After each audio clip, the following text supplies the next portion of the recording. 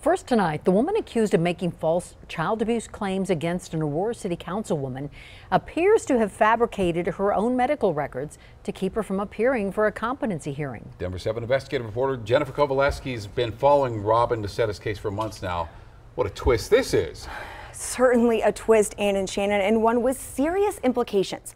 Prosecutors have significant concerns. Niceta made up her medical records that she provided to the court, records that put this case on hold and delayed the trial. The walls are closing in on Robin Niceta. Aurora City Councilwoman Danielle Jurinsky had questions the day the bombshell claim came out in court.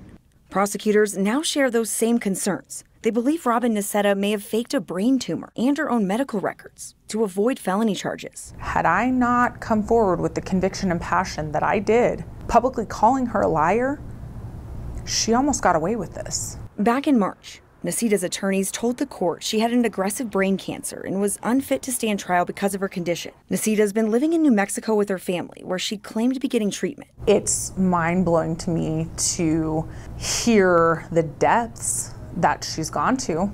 Prosecutors filed this motion in court late Thursday. It details how the state cannot seem to find any record of the doctor in New Mexico or verify the oncology clinic actually exists. Court documents also state the clinic's website is a GoDaddy domain that was created in January of 2023, and no doctors appear associated with it. The records also point out the MRI images provided by Miss Niceta are stock images of glioblastoma found with a basic Google image search. This is who she is.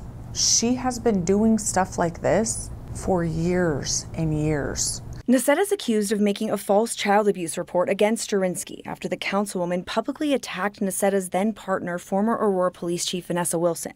A judge has now ordered Niceta to come back to Colorado and appear in court on Monday. Show up to court.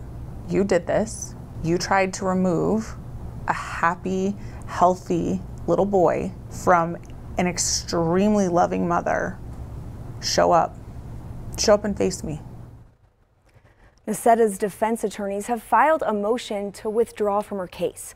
Niceta was required to have a state evaluation to prove she was unfit to stand trial, but was claiming she couldn't travel back to Colorado due to her condition.